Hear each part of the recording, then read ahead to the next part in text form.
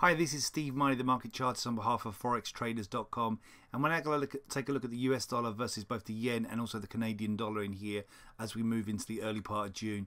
Well, dollar yen suffered here, as you can see on the intraday chart, the four hour chart, a significant setback in here, back from this downtrend line uh, that comes down all the way from the early part of May, um, rejecting a push up through 111.80, setting back from 111.71. And the plunge lower did take out this 110.46 support, having previously taken out range support here at 110.83.80.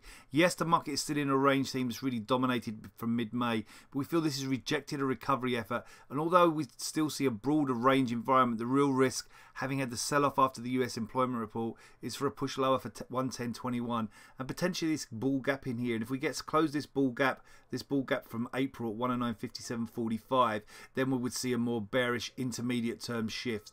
For dollar CAD, we're still very much um, in here in the choppy range environment. Again, that's kind of dominated in here from mid-May. But the failure back from 135.40, 55 resistance in here leaves a negative tone we feel in here going into um, into this week. Down for 131, 134.31, 133. 83 in here. So we do see a negative bias, maybe even for a deeper correction. Remember, dollar CAD in here coming off on Friday despite the plunge lower in oil. So the plunge lower in oil, negative oil for the oil price, negative should be negative for the Canadian dollar. That should be dollar CAD higher. But the dollar selling off, the US dollar selling off more aggressively than the Canadian dollar after the US employment report. So leaving a negative bias going into the early part of this week and potentially for early June.